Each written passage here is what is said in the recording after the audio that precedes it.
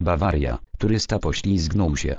Przeżył upadek z 20 metrów Niemcy, turysta przeżył upadek z 20 metrów.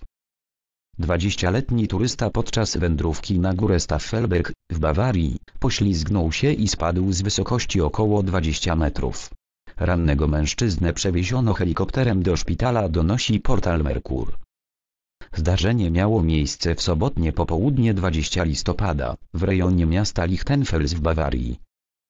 Jak potwierdził rzecznik lokalnej policji, 20-latek został ranny w wyniku tego wypadku, jednak odniesione obrażenia nie zagrażają jego życiu. Obecnie przebywa w szpitalu. Jak informuje Merkur, towarzysz 20-latka natychmiast po zdarzeniu zaalarmował służby ratownicze. W akcji udział wzięła policja, ratownicy, służby ratownictwa górskiego. Rannego turystę do szpitala przetransportował helikopter.